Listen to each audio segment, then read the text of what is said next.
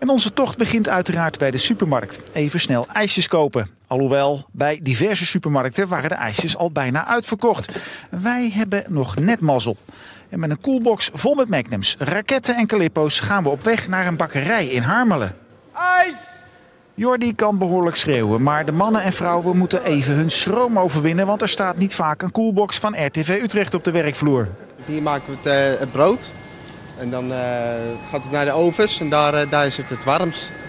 Daar is het echt niet uit te houden. Het is dus even zweten voor uw dagelijkse verse brood. Nederland ligt lekker in het zwembad of is op vakantie in het altijd koele IJsland. Maar er zijn ook nog mensen aan het werk. Was ik net nog in Harmelen, inmiddels ben ik in Amersfoort. En in Amersfoort is het ook bloedje heet. Met name in deze bouwmarkt. Tijd voor verkoeling.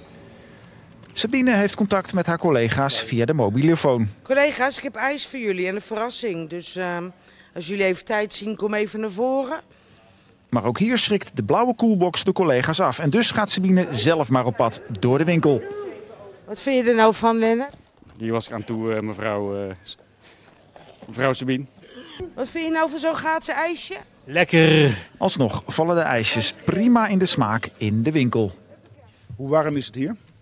Heel warm. Nu valt het nog mee, maar eh, ik denk wel dat het eh, van de week eh, boven de 40, denk ik, dat moet haast wel. Geniet van het ijsje. Dankjewel, zeker lekker.